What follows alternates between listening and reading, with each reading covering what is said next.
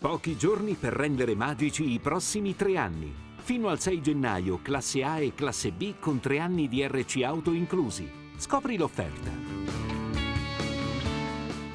La regione va avanti, i sindaci della Valle del Sabato cominciano a dare segnali discordanti. Dopo Atripalda e Mano Calzati, che in consiglio comunale sottolineano il no al potenziamento dello stabilimento, è Montefredane a rendersi protagonista di una iniziativa di tutela ambientale. Il sindaco Valentino Tropeano ha chiesto alle fasce tricolori di Atripalda, Mano Calzati, Prata e Prato la Serra un incontro per lunedì prossimo volto a valutare iniziative da prendere insieme. Dall'invito non è stato escluso, anzi ci si augura possa essere presente e dettare le linee guida il comune di Avellino. La volontà della regione di autorizzare un tritovagliatore per la lavorazione dell'umido costituisce di per sé un atto che prevarica i territori, dichiara il sindaco di Montefredane Valentino Tropeano. Se l'intenzione è il risanamento ambientale, non è escluso, anzi è auspicabile che possa arrivare da parte dei comuni interessati un ricorso al TAR contro la decisione decisione di Regione e di Irpini Ambiente.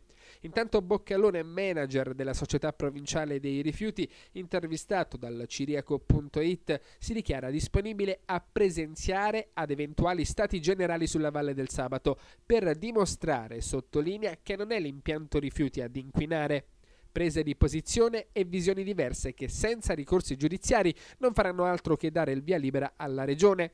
A torto o a ragione non spetta a noi stabilirlo.